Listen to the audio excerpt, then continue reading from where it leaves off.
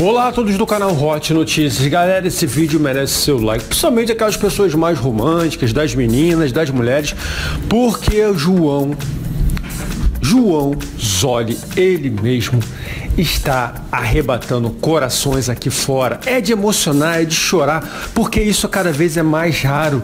Vocês vão saber exatamente o que ele fez nesse vídeo, então já deixe seu like, porque o menino merece. E também se inscreva no canal aqui, as notícias mais quentes da internet, só as hot notícias. Galera, é o seguinte, João Zoli provando mais do que nunca que não só lá dentro da fazenda que ele estava apaixonadíssimo aí pela Gabi Prado. Aqui fora também ele está demonstrando em atitude que realmente sabe o que quer. E ele pediu a mão dela em casamento para o pai. É isso mesmo, galera. É bem pouco tempo. E ele está sendo impulsivo, romântico, apaixonado. Comente aqui o que vocês acham, hein?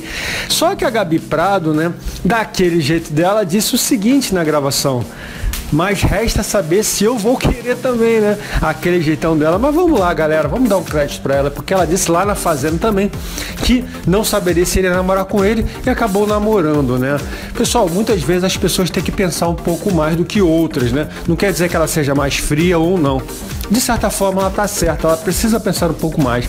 E não só isso, galera, o pessoal também tá aí comentando, né, sobre a gravidez, né? Se ela poderia estar grávida ou não, algumas pessoas já comentaram isso aí na internet, e ela diz o seguinte em resposta: nem pensar. Ela colocou o DIL fazem três meses, portanto, né, sabemos que o DIL tem durabilidade de cinco anos, uma vez que ela permaneça desse jeito, não ficará grávida em cinco anos. A menos que haja uma falha, alguma coisa assim, né? Ou que ela tire, né? Enfim, mas ela deixou claro que colocou o Dil há três meses, então gravidez por hora, nem pensar. E aí, galera, o que vocês acharam? Realmente uma atitude bacana do João Zoli, demonstrando aí romantismo, apaixonado que está pela Gabi. E eles estão se dando muito bem aqui fora, né? Ao contrário do que muitas pessoas previram, por ela ter um, um gênio difícil, mas é aquilo, né? Os opostos se atraem. Ele, por outro lado, é super tranquilo. Deixa aqui a sua opinião,